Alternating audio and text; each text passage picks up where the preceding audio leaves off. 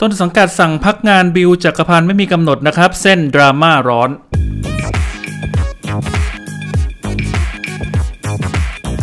หลังจากก่อนหน้านี้ Beyond Crow นะครับต้นสังกัดของนักแสดงหนุ่มบิลจักรพันธ์พุทธา ได้ออกแถลงถึงปมดราม่าร้อนของบิลนะครับที่ได้รับความสนใจและถูกวิจารณ์อย่างหนักในโลกโซเชียลอยู่ในขณะนี้ หลังสาวนักเขียนนิยายนะครับได้ออกมาทวีตข้อความอ้างถึงความสัมพันธ์กับนักแสดงหนุ่มนะครับว่าตลอดเวลาที่คบกันมา 2 ปี ได้ถูกบิลทำร้ายร่างกายมาโดยตลอด ทั้งยังมีการคบซ้อนกับแฟนที่บอกว่าเลิกลากันไปแล้ว และนำสิ่งของและเงินที่เคยให้ไปใช้ไปให้กับบุคคลอื่น ล่าสุดทางต้นสังกัดนะฮะก็ได้ออกมาแถลงอีกครั้ง พร้อมกับประกาศพักงานดาราหนุ่มอย่างไม่มีกำหนด จนกว่าจะได้ข้อสรุปของเรื่องราวทั้งหมดอย่างชัดเจนนะครับ โดยระบุว่า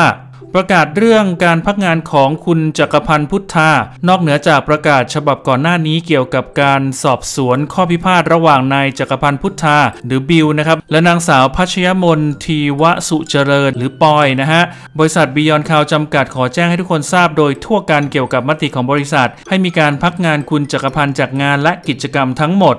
โดยที่คุณจักรพันธ์จะถูกพักงานทั้งหมดโดยไม่มีกำหนด ที่สำคัญที่สุดคุณจักรพันธ์จะไม่มีส่วนร่วมในโปรเจกต์ใด ๆของบริษัทที่ดำเนินอยู่ณขณะนี้ โดยให้มีผลในทันทีนะครับเขาจะใช้เวลาในระหว่างนี้หยุดเพื่อไต่ตรอง และทบทวนอย่างถี่ถ้วนเกี่ยวกับการกระทำของตนเอง และจัดการกับข้อพิพาทและคดีความของเขา การพักงานจะมีผลจนกว่าข้อพิพาทจะได้รับการแก้ไขและได้ข้อสรุปที่ชัดเจน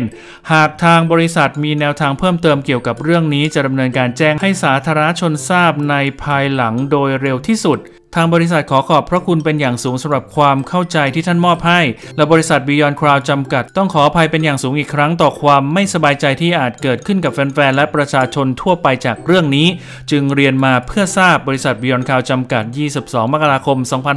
2566โดยทั้งนี้นะครับด้านบิลจักรพันธ์ได้ปิดสื่อโซเชียลมีเดียส่วนตัวนะครับ ไม่ว่าจะเป็น Twitter Instagram ไปเป็นที่เรียบร้อยนะครับ ก็ติดตามกันต่อไปนะฮะ ขอบคุณข้อมูลดีๆจาก PPTV นะครับ และขอบคุณเพื่อนๆที่ติดตาม ฝากกดไลค์ กดแชร์ กด Subscribe เพื่อเป็นกำลังใจกันด้วยนะครับ แล้วเจอกันใหม่ในคลิปหน้าสำหรับวันนี้ไปแล้วครับ สวัสดีครับ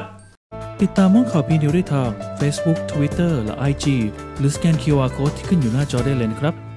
สำหรับคุณผู้ชมที่รับชมห้องข่าวพีนิวทางมือถืออย่าลืมกด Subscribe ตรงนี้ด้วยนะคะ